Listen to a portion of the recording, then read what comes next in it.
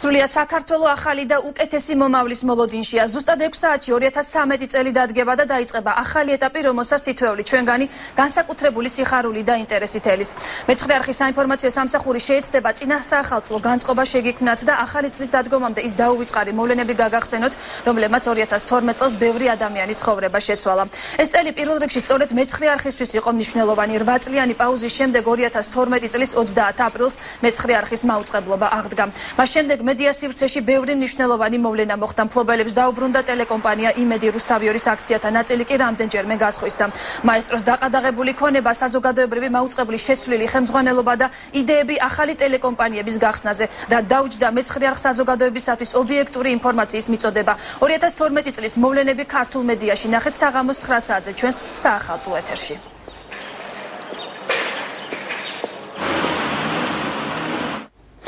პირველად საქართველოს ისტორიაში 2012 წელს აღმასრულებელი ხელისუფლება დემოკრატიული არჩევნების გზით შეიცვალა. გაჩნდა ტერმინი კოჰაბიტაცია, რომლის მიღწევაც ქართველი პოლიტიკოსებისათვის არც თუ ისე იოლი აღმოჩნდა. პრეზიდენტი ოპოზიციაში და პრემიერ-მინისტრი, რომელმაც ერთწლიანი წინასაარჩევნო კამპანიით საპარლამენტო არჩევნებში გამარჯვება შეძლო. წლის პოლიტიკური მოვლენები ნახეთ თამთა ჯანაძის რეპორტაჟში საღამოს 9 საათზე.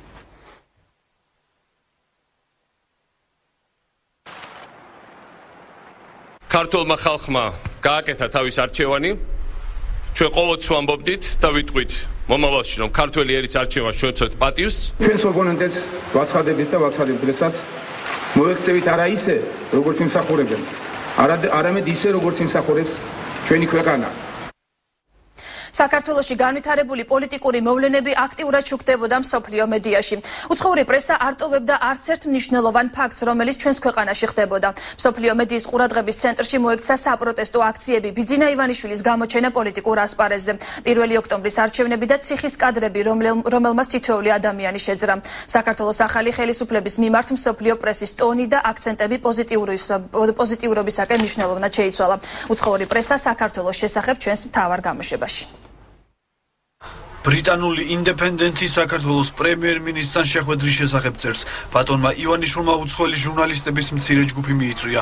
ივანიშვილმა განაცხადა, რომ ყველა დაკავება უკავშირდება უთხოვარ დანაშაულს და ამასთან დაკავშირებული საერთაშორისო პროტესტი გაუგებრობით იყო გამოწვეული. ევროპა მიეჩვია სააკაშვილის მთავრობის მიერ დახატულ მომნოსხოლ და გამოგონილ სურათს. ამბობს ბატონი ივანიშვილი. ის ახერხებდა წარმატებისთვის მიღწევას ევროპელი ლიდერების მოტყუებით. ის გაქნილი მატყუარა, წერს ჟურნალისტი.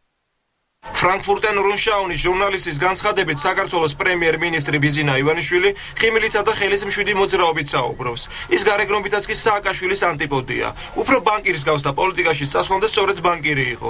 როგორც გამოცემის ჟურნალისტი კრისტიან ეში სტატიაში აღნიშნავს, ახლა თბილისელები ძველი თბილისის პატარა ქუჩებიდან უყურებენ სასახლეს და უხარიათ, რომ მათი საძულველი პრეზიდენტი მიხეილ სააკაშვილი სიბრელეში ზის. იაპონური გაზეთი მაინიჩი საქართველოს საგარეო კურსის შესახებ წერს. ხმები საქართველოს მოსკოვის ორბიტაზე დაბრუნების შესახებ როგორც ჩანს სიმართლეს არ შეესაბამება. საქართველოს საგარეო საქმეთა მინისტრის შეფასებით ისევე როგორც არც ბიძინა ივანიშვილი არის რუსული პროექტი, ასევე არც ქართული ოცნებაა პრორუსული პარტია. რუსეთთან ურთიერთობაზე ამახვილებს ყურადღება შვეიცარიული გამოცემა ლეტემპი. საქართველოს პრემიერი რუსეთთან ურთიერთობების ნორმალიზების პროცესში ამ ეტაპზე წინაპლანზე რეალისტურ პრიორიტეტებს აყენებს. საჰაერო მიმოსვლის აღდგენას რეგულარულ საფუძველზე ადამიანებს შორის ურთიერთობების ჰუმანიტარულ ასპექტს, კულტურული კავშირების განვითარების ხელშეწყობასა და რუსეთის მხრიდან სავიზო რეჟიმის გამარტივებას. The National Interest-ი სტატიაში საქართველოს პრეზიდენტს აკრიტიკებს. იმით რომ ხელისუფლების გადაცემა სამართლიანობის პრობლემად აქცევენ, ბევრი ცდილობს პრეზიდენტი მიხეილ სააკაშვილი თეთრი მტრედივით უცოდველად დახატოს. ასე იქცევიან ისინი 2003 წლის ვარდების რევოლუციიდან დღემდე. სააკაშვილის ამ უპირობო დამცველებს ადრევე უნდა დაეწყოთ მისი კრიტიკა, რათა ეიძულებინათ ნამდვილი დემოკრატივით ემოქმედა. ეს იქნებოდა საუკეთესო გზა, რომელიც სააკაშვილს საკუთარი თავისგან დაიცავდა. დღეს ეს მხარდამჭერები და მისი ყოფილი მინისტრები ოპოზიციასა და დაბალანსებულ მედიას სამართალსა და დაცვას თხოვენ.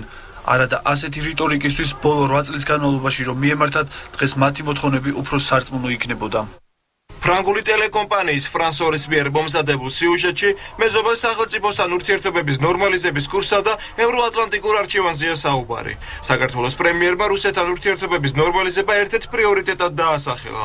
თუმცა აღნიშნა, რომ საუბარი არ არის გულგადაშლილ დამოკიდებულებაზე ქვეყანასთან, რომელსაც საქართველოს ტერიტორიის ნაწილები აქვს ოკუპირებული. ამავე დროს საქართველოს იუსტიციის ახალი მინისტრი ევროატლანტიკური არჩევანის ერთგულებას ადასტურებს და ქართული საზოგადოების ევროპული არჩევანის პრიორიტეტს ხაზს უსვავს.